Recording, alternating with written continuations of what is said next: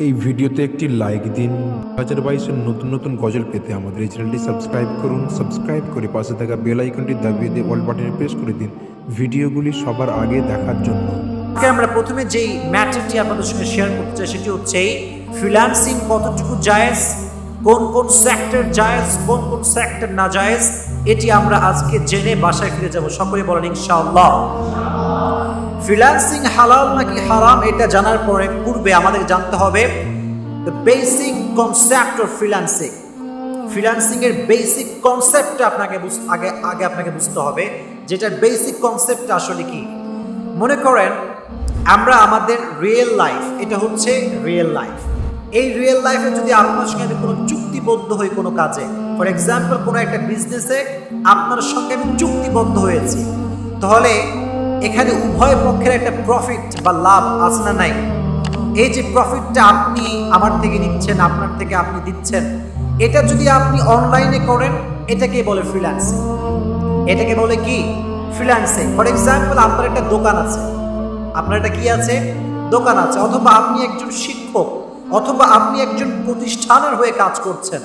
এই যে বিজনেস এই যে জব আমরা রিয়েল লাইফে করছি এরকম কোনো কাজ যদি অনলাইনে কেউ করে, এটাকে অনলাইনের ভাষায় বলা হয় ফ্রিল্যান্সিং কথাটা কি বুঝতে পেরেছেন প্রিয় ভাইরা হ্যাঁ এটা হচ্ছে ফ্রিল্যান্সিং একটি উন্মুক্ত প্ল্যাটফর্ম কাজ করার জন্য এখানে স্বাধীনতা রয়েছে কারও হস্তক্ষেপ নেই কাজের ভেতরটা, ভালো কাজ।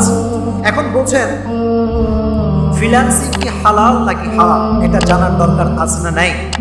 মনে রাখবেন, প্রতিটি বিজনেস এবং প্রতিটি কাজে দুইটা ভাগ আছে। জবান করে বলতে হবে কয়টা? নাম্বার ওয়ান ইজ হালাল আর নাম্বার টু ইজ হারাম number one is number two is হারাম দেখেন, খুব মনোযোগ দিয়ে শুনতে হবে। যে কোনো বিজনেস আপনার লাইফে আপনি অনেক বিজনেস করতে পারেন। যে কোনো বিজনেস হালাল হওয়ার জন্য কোরআনে আল্লাহ তাআলা একটা শর্ত উল্লেখ করেছেন। সকলে বলেন, কয়টা শর্ত? শর্তটা হচ্ছে আল্লাহ তাআলা বলেছেন, ইয়া আইয়ুহাল্লাযীনা আমানু লা তাকুলু তিজারাতান আন তারাদিন মিনকুম এটা আল্লাহ তাআলা সূরা নিসা 29 নম্বর আয়াত নাম্বার নাম্বার পৃষ্ঠার প্রথম লাইনে আল্লাহ উল্লেখ করেছেন যে তোমরা যখন বিজনেস পারপাসে কোনো কাজ করবা, উভয়ের সম্মতি থাকতে হবে। একে অপরের প্রতি সম্মতি না থাকলে, রাজি না থাকলে সেই বিজনেসটা হালাল হতে পারে তবে একটি বিষয় মনে রাখবেন, আপনিও রাজি, আমিও রাজি। এটা হলেই কিন্তু বিজনেস হালাল হবে না। কেন? মনে করুন আপনি মদের বিক্রেতা, আমি মদের ক্রেতা। আপনি খুশি খুশি বললেন, হুজুর, এই নেন মদ। আমি দিলাম এক হাজার, এই দেন মদ। হালাল হয়ে যাবে? এটা হালাল না হারাম? শুধুমাত্র উভয়ের সন্তুষ্টি থাকলেই হবে না, বরং the way of your business the way of your source it should be হালাল আপনি যেই সোর্সে বিজনেস করছেন, এই সোর্সটা হালাল হওয়ার দরকার আছে না নাই?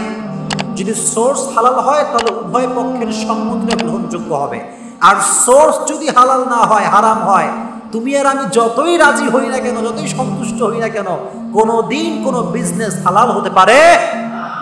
এবার আসেন ফ্রিল্যান্সিং হালাল না হারাম।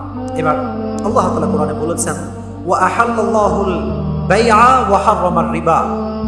এটা স্পষ্ট কোরআনের আয়াত।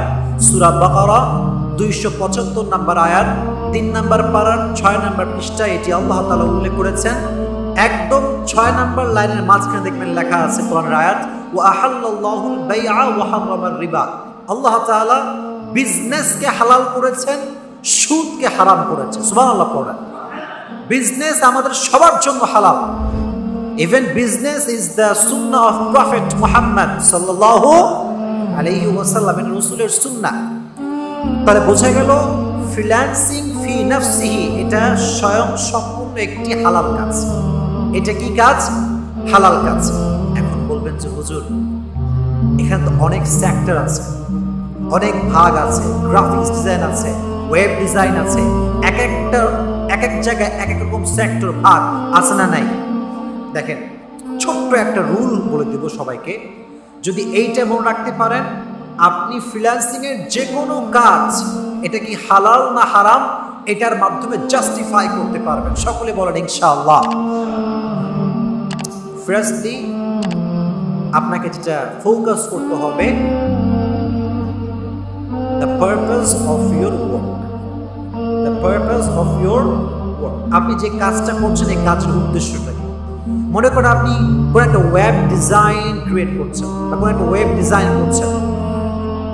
এখন এটা যদি কোনো হারাম উদ্দেশ্য হয়ে থাকে অথবা আপনি কোনো গ্রাফিক্স ডিজাইনের কাজ করছেন, এটা এমন একটি পারপাসে আপনি করছেন, এর মাধ্যমে হারামকে প্রমোট করা হচ্ছে, তাহলে আপনার মাইন্ড এই মুহূর্তে কি জবাব দিবে? এটা করা কি ঠিক হবে না বেঠিক হবে? বলে না, ঠিক না বেঠিক হবে? বেঠিক হবে, কারণ এটার দ্বারা আমি হারামকে প্রমোট করছি। জবান খুলে বলেন, কি প্রমোট করছি? হারামকে প্রমোট করছি। এর এগেইনস্টে যদি কোনো ওয়েব ডিজাইন অথবা কোনো গ্রাফিক্স ডিজাইনের কোনো কাজ আমি করছি, এর দ্বারা ইসলামের ন্যূনতম কোনো ক্ষতি হচ্ছে না, ইসলামের কোনো প্রকার কোনো বিধান অমান্য হচ্ছে না, এটার দ্বারা যদিও কোনো সওয়াব হচ্ছে না বা কোনো ইসলামের উপকার হচ্ছে না, কোনো ক্ষতিও হচ্ছে না, সেই ক্ষেত্রে এটা করা সম্পূর্ণ জায়জ। পড়েন, আলহামদুলিল্লাহ।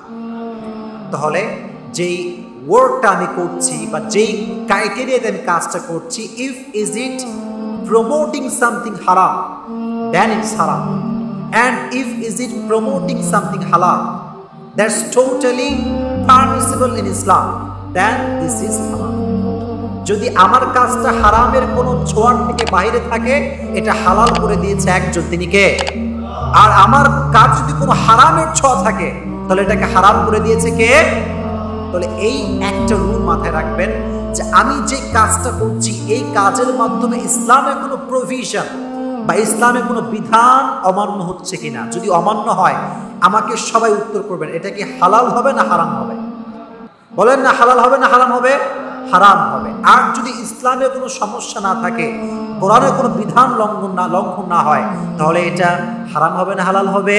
হালাল হবে। আল্লাহ তাআলা এই কথাগুলো আমাদের সবাইকে বোঝা এবং মানা তৌফিক দান করুক সকলেই প্রণামে এই ভিডিওতে একটি লাইক দিন।